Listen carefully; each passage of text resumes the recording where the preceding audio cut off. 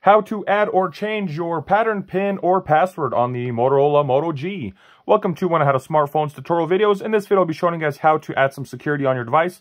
As you guys were able to see, I was able just to swipe on my device and get right in. So this has, at this point, has no security at all. So the way to add a pattern, pin, or password would be to swipe down twice.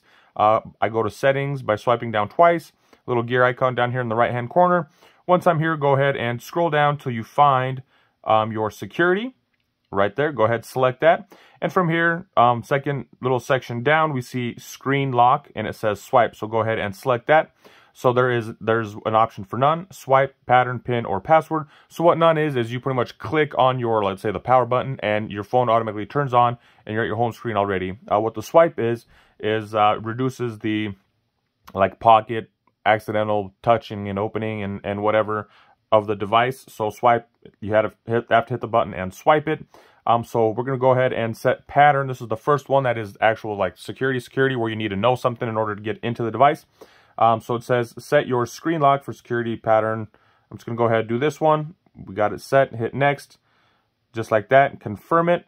And now it's asking us lock screen. How do you want the lock screen to display as far as notifications go? So it says show all notification content, show sensitive content only when unlocked, or don't show notifications at all and it just won't show anything. So for me, it doesn't really matter. I'm just gonna go ahead and show all notification content, select done there. And just like that, it's changed to pattern. So I'm gonna go ahead, hit, go ahead and lock the device.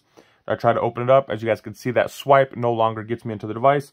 I gotta add in my add in my uh, password there or my pattern.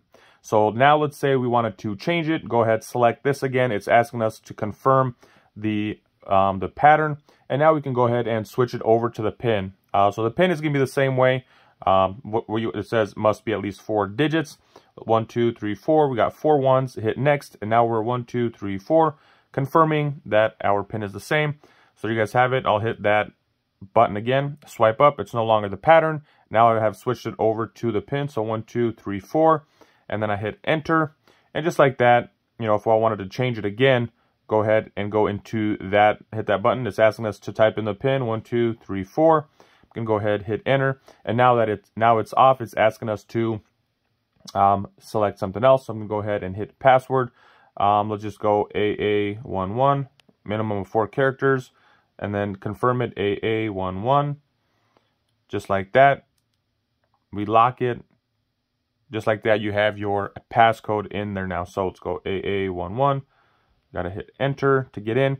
And just like that that is how to set it. If you wanted to set it to pretty much nothing which is the swipe you know so for none um, if we go ahead and hit none it's asking us oh hey you're removing any protection? You want to remove it? Are you sure? Yes.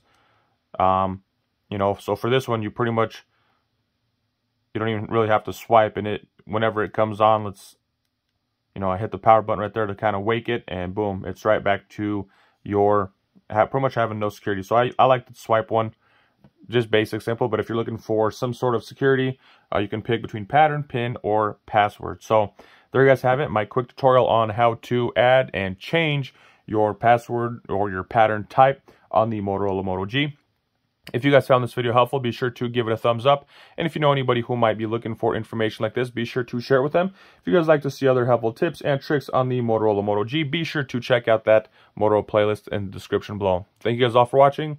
Have a good day.